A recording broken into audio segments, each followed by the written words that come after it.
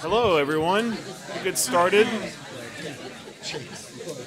This panel is on theory and method. We're still we're missing one. Oh, here she comes. So uh, please keep your questions uh, concise.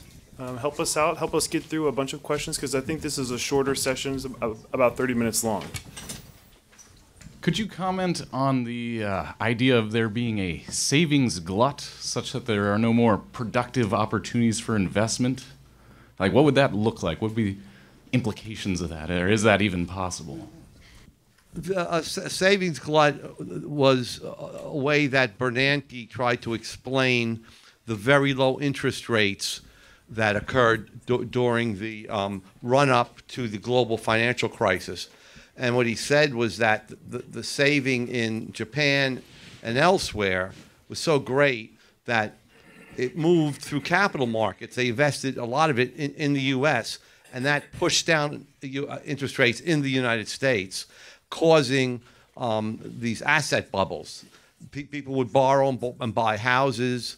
Um, they would refinance their houses and use them as, as ATM machines, basically to buy, to, to buy luxury goods.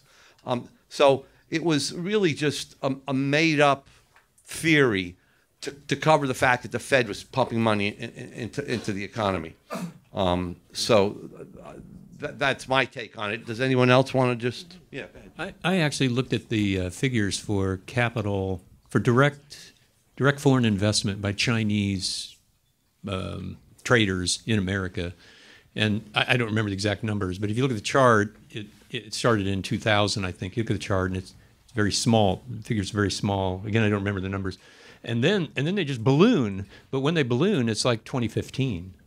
So, so it's clearly, clearly the evidence doesn't even support the claim that there was something like a Chinese, you know, this flood of Chinese uh, uh, money coming to the U.S. buying things and driving interest rates down. Question, I guess, to all of you: um, Do you think in like a Kuhnian paradigmatic sense, kind of like in how science shifts, um, that the inability of Austrian economics to really sort of precisely calculate when some things happen, or just seem to to do I mean, there is yes this critique of math, but the, the whole inability to kind of do math in the science indicate perhaps some some failure in, in some of the assumptions or maybe work where where work could be done sort of to further the discipline. You want to answer, David? David? It's certainly right that the Austrians don't characteristically use math in their theory, but uh, I don't see, unless you don't accept the Austrian views of things, I don't see that that would be a problem if you thought that math was essential to doing economics, then it would be. And, uh, I, I'm not seeing, it's, I'm slow at these things, what this has to do with uh, Thomas Kuhn's notion of a paradigm shift. It's, uh, I don't, uh, did you have any, could you say perhaps a bit more on? The, Oh, all right. No we, dialogue. Yeah, yes, well, that, that, that, that is the way, a, you're quite right, Joe, that is the way Kuhnian paradigm shifts occur. uh, they just shift to something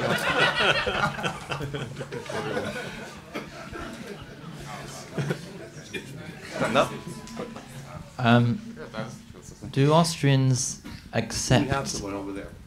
Do does the Austrian school accept the existence of uh, Giffen goods and backwards bending supply curves? And if so, how might it be explained in a causal realist framework? Austrians believe, show that all demand curves, I won't you know, go really explain it here, but but all demand curves um, slope downward, and that's because of the law of marginal utility.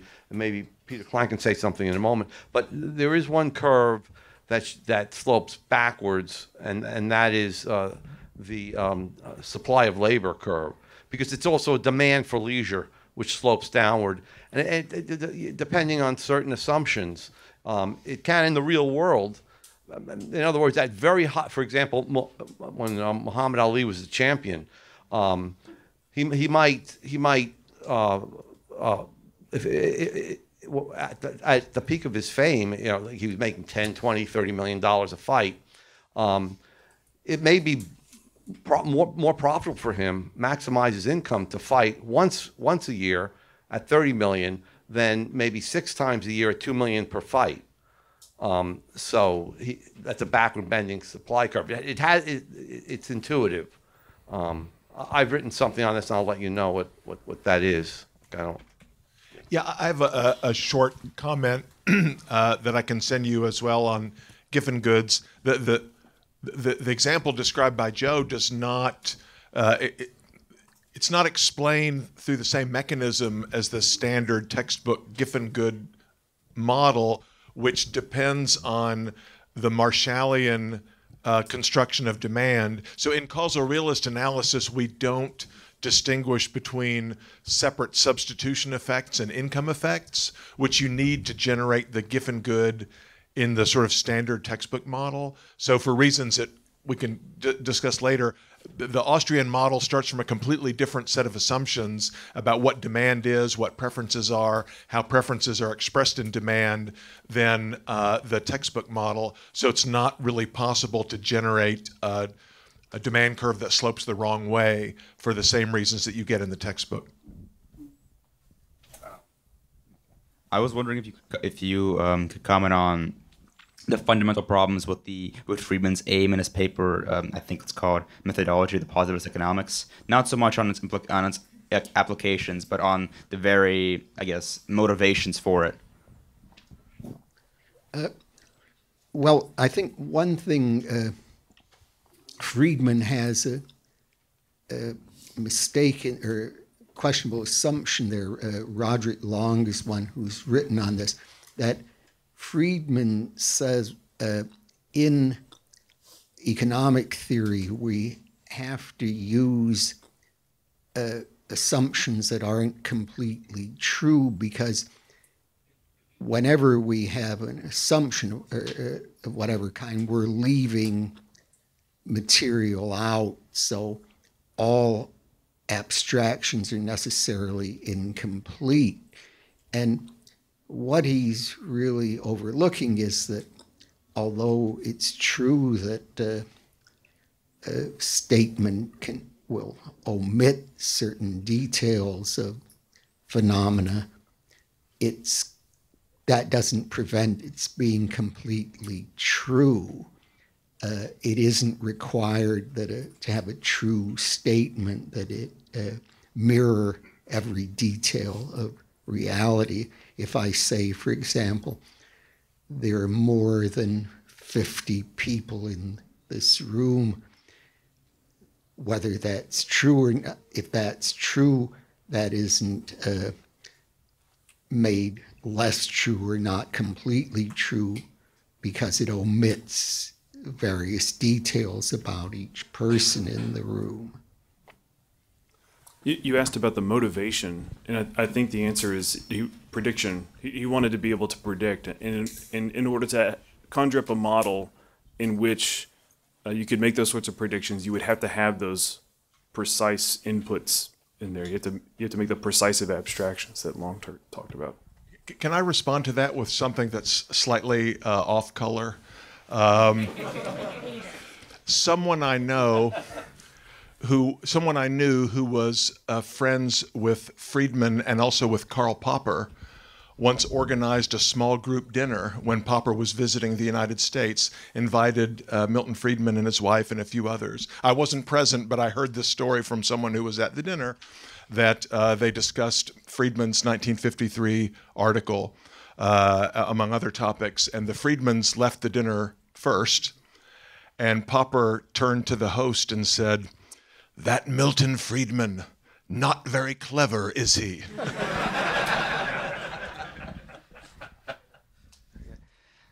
um, sorry. Uh, so we, we've talked about uh, firms a little bit, and then today there was a larger uh, lecture on it. But I was wondering, um, my conception of firms has largely been built upon uh, Coase's works um, up until now, at least. And there was no mention of that at all this entire week, and uh, or any of Coase's work. And then especially during the lecture today, it almost sounded like it was kind of, um, I guess, mutually exclusive with like Coase's uh, th- theory of the firm. And I was just wondering uh, if Austrian theory is actually is mutually exclusive with that. I guess that's something I've wondered even before coming here, but I've never heard anyone have an answer on it. Well, can, why don't you save that question for the second panel, and Per, who gave the lecture this morning you're referring to, can address it more directly. I mean, I, I, it's worth noting that uh, both both Rothbard and Kerzner expressed some sympathy with Coase's idea. In my mind, it's not really even a theory; it's just sort of a heuristic framework an analytical device for characterizing uh, the difference between transactions between firms and transactions within firms.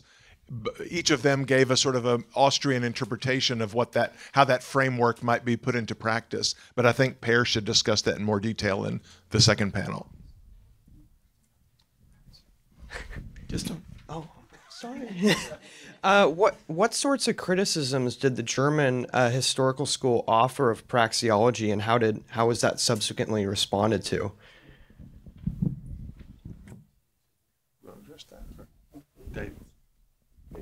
David thought he was going to take a nap, but. well, I, that won't prevent me from answering. Uh,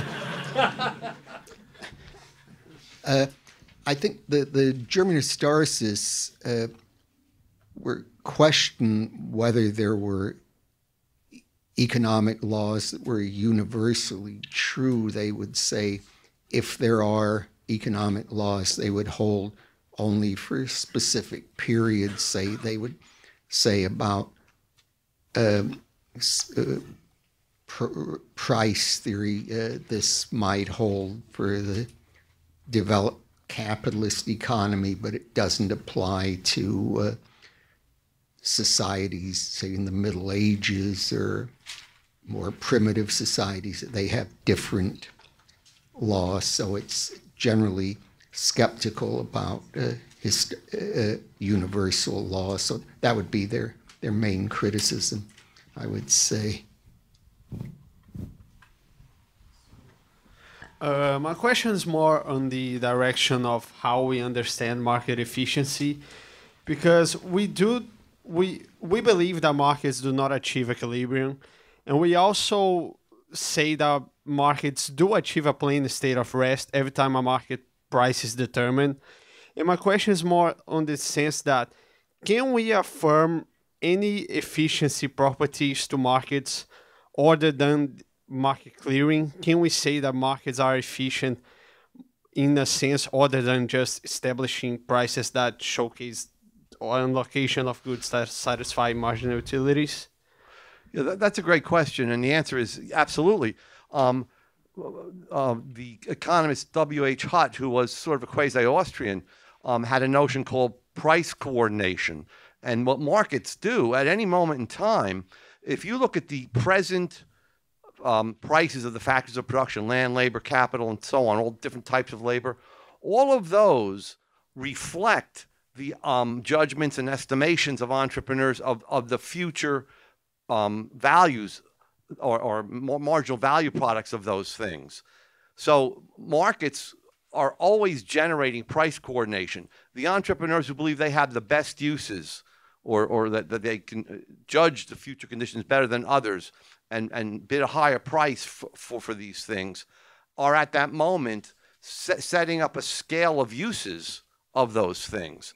So that's, in a way, a sort of a dynamic efficiency, um, if you will.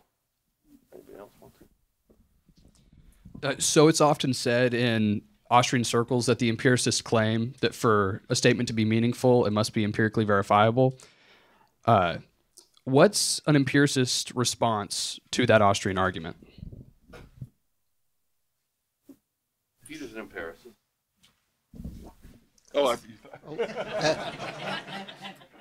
so the, the argument, the, uh, which specific argument do you, oh, which was the specific argument that you wanted, the empiricist, is Pierce's response to which specific argument? The argument that for a claim to be meaningful, it must be empirically verifiable. Oh, yes, that, that's the empiricist claim. So you want to know what would be the Austrian? Oh, okay. So the Austrian response that that isn't in and of itself empirically verifiable. Oh, the- uh, well, they had several different responses to that. The, the one that seemed to uh, come out, become popular most later when this criticism was raised, uh, was that their the uh, empiricist uh, statement should not be taken as a statement, but just as a proposal that didn't have a real truth value.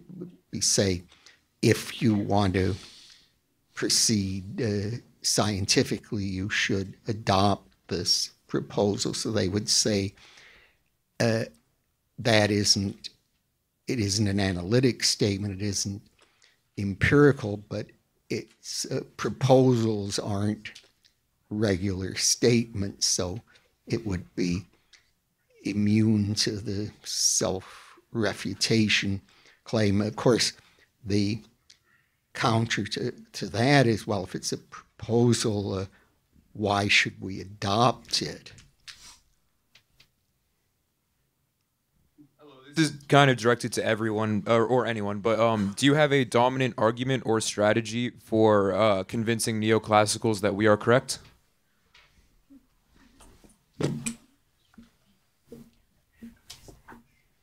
I, I mentioned in my lecture that uh, a, a lot of the the common arguments that Austrians make against neoclassicals actually have the neoclassicals have escape hatches like the ordinality of preferences. So they they just they back up a little bit and say, yeah, we, we can handle ordinal preferences because we can just shift the utility function to represent any set of preferences. Therefore, we aren't even though we do have a number associated with a certain level of utility, it's it's still it's still ordinal because we can shift it any direction that we want to. So it can reflect any any set of preferences. So I think th- I think those sorts of attacks aren't as uh, um, uh, what's the word? Aren't as effective as as we might think.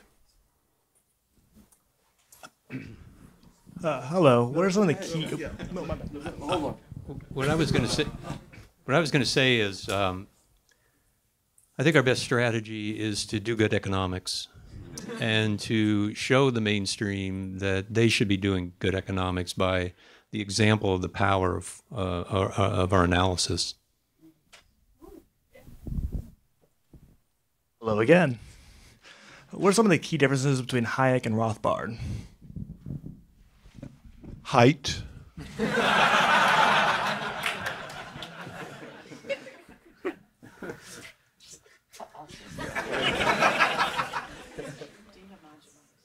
Um, one was that they spoke different dialects of English. Um, I was at a conference once, and Murray Rothbard was giving a talk, and at the end of the talk, Hayek was. We were standing talking to Hayek, and he he turned to us and he says, "I can't understand one word that man says."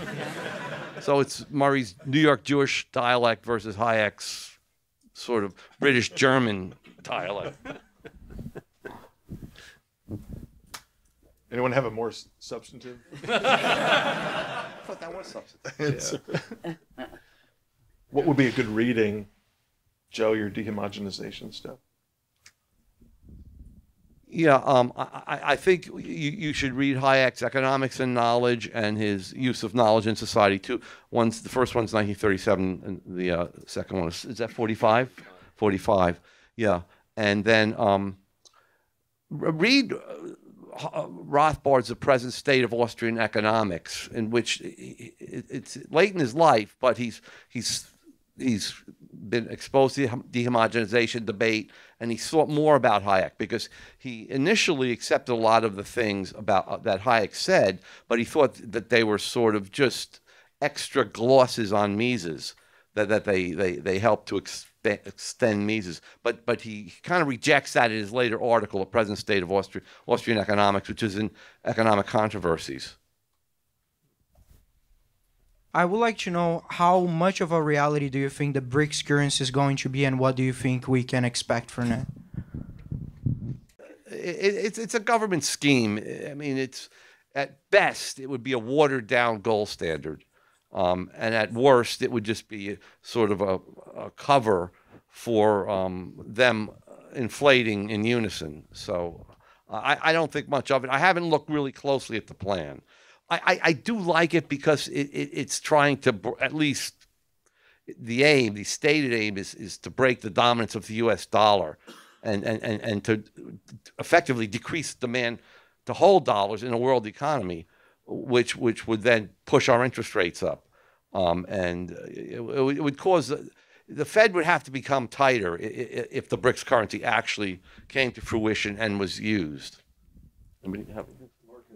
Uh, you covered it. No, you, Yeah, you- okay. you covered it in, in, in the sense that um, the upside of the BRICS and the BRIC proposal and the BRIC bank and the BRIC, BRIC currency is in opposition to the U.S. dollar and the dominance and the monopoly that the Fed enjoys. And you know, it's we're exporting inflation, we're exporting business cycles, um, and these other countries which are growing um, and expanding, uh, and they want the political influence that a leading monetary system would give them. So it's it's political, but it's political against the U.S. dollar and the and the federal and the Federal Reserve and its dominance. So uh, it does have sort of a political upside to it. an increasingly uh, uh, kind of wing of uh, modern right wingism kind of offers a critique of Austrianism where they say, okay, yeah, maybe you're right, but what if we want our society to be poorer and more, uh, but uh, like we don't want these amoral or immoral things? Uh, is that kind of a short-sighted re- response? What what would be uh, how how would you respond to that? Well, anybody can, um, you know, lower their standard of living and uh, stop working for, you know, give up their job and move into the wilderness and be by themselves and, you know, set up their own camp out in the wilderness. Um, you can do that today. Um, now, the problem, of course, occurs. The problem, of course, occurs if if somebody, some political force, wants to inf- mandate that for everyone, mandate lower standards of living, mandate uh, certain behaviors, um, symbols, and so forth. And you're talking kind of like a form of fascism, basically, uh, which is socialism, and which it you know gives the state an incredible amount of power over people's lives and the economy. If you think about HOAs, the same sort of thing happens. People like voluntarily go into these neighborhoods knowing that there's going to be restrictions on the way that they use their property. So this is open to pretty much all of you. Uh, where would you say Rothbard went wrong? We're, we're not a cult, right? so, I mean, one of the great things, even in the past summers that I've been here as a fellow, is uh, is being able to talk with uh, with scholars like Salerno and actually talking through differences between Mises and Rothbard. So, like this, there's this is not a monolithic sort of thing. There are differences between these economists. Uh, sometimes it's as simple as I think I think Mises could have been more clear here. I think Rothbard uh, he, he took this slightly different approach to explain the same sort of thing compared to Mises, and sometimes there are even larger differences between them. So it's it's not uh, it's not like a great sin to to point out issues. In fact, you should always have your critical thinking uh, Yeah, yeah. engaged while you're reading. And one can embrace a general approach and sort of uh, you know philosophical system, a way of doing economics, while still working out some of the details. And for example, uh, Rothbard, uh, his treatment in his theory of the firm of what he calls the decision-making factor. And actually, Joe has a piece on this too that I think is completely wrong, but I haven't had a chance. haven't had a chance to write up why I think it's wrong. But uh, you know, there's some. There are also some inconsistencies in the early parts of Man, Economy, and State. Uh, his supply and demand analysis. Um, there's some. I think there's some minor details that are wrong in terms of how he derives the demand curve. Um, you know, I don't think these things have a huge impact on Rothbard's overall kind of you know economic system. But yeah, of course, there's always room for rethinking and questioning and looking at details, both substantive and also expositional. Yeah, and I just wanted to say, um, Patrick Newman and I are writing a, a, a book on, on, on Rothbard's writing of Man, Economy, and State and how he developed, in the very act of writing it over a course of six years, into an Austrian economist. And um, the one thing that was is clear to us is that the, he didn't have professional economists reading the chapters as he went along. He didn't have um, because people, you know, he was writing on a, a, a very small or, or a, a, school of thought. He's writing in the tradition of a school of thought where there are hardly any any economists. So he didn't get he didn't get high level feedback. That he was the people that read his chapters were were lay people who sort of knew economics. So there are, are minor details where where I would disagree with him, but the overall approach is correct. And what's really amazing is the fact that he actually did what Mises talked about, but never really did because Mises assumed you had a lot of knowledge. He derived the whole of economic theory, um, the main propositions from the action axiom. I mean, his deduction, very difficult to find any logical errors in that deduction. So um, I, I, think whatever problems there may have been, and there are a few here and there, um, I, I, think was, his achievement was overwhelming. I'm going to um, answer that question a little differently, assuming that what by what you mean by that is where did he go wrong with his career, and you know because uh, Murray graduated from the number one economics program with a PhD, number one program in the world, re- really, uh, under the leading professors of economics in the profession at the time. Um, he published uh, you know, some amazing stuff, including Man, Economy, and State uh, in America's Great Depression early in his career, plus The Panic of 1819, which was critically acclaimed. He published uh, um, articles and comments in the American Economic Review. He was sending things to the Journal of Political Economy and publishing in other leading journals. Um, so he was on the highway to a lot of professional prestige uh, that comes. He was uh, under consideration for an appointment at the University of Chicago. He knew and corresponded with some of the leading people in the profession, like James Buchanan and Gordon Tullock, uh, Sam Peltzman, just a bunch of people that I couldn't possibly make up the entire list.